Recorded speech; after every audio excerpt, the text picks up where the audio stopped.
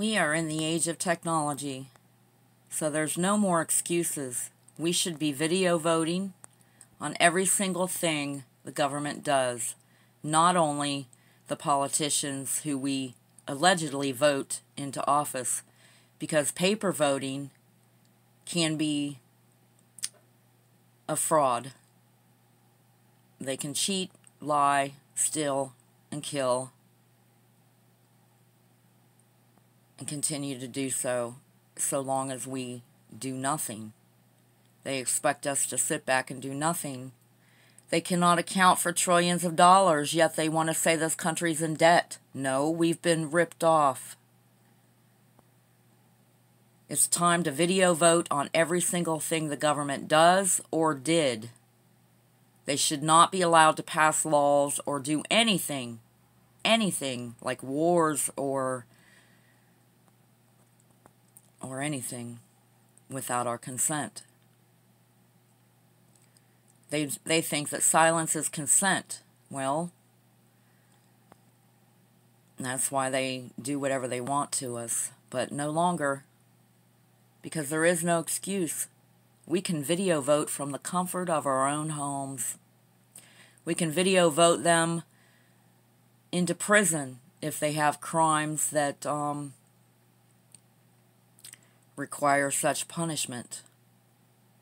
Instead of them getting away with every single thing they do, we could video vote.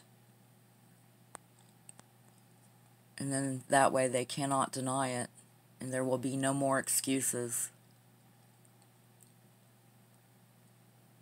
We are in the age of technology. There, there is no more excuses. We should be surveilling the government 24-7 instead of the other way around of them surveilling us. They store all our personal information and sell it, which is identity theft. They use our personal information in a type of social credit judgment system and create obstacles and different things in our lives intentionally. This beast system needs to be tamed or killed, one or the other. But you are in it. The beast system has your number. It does not discriminate. You leave your mark on a paper. They are always wanting your signature on a paper. Well, it's time to stop being a forced customer. Because all they are is businesses. It's time to video vote our government out, downsizing, clean the swamp, whatever you want to, or drain the swamp, sorry. Whatever you want to do. It can be done from the comfort of your own home because there is no more excuses.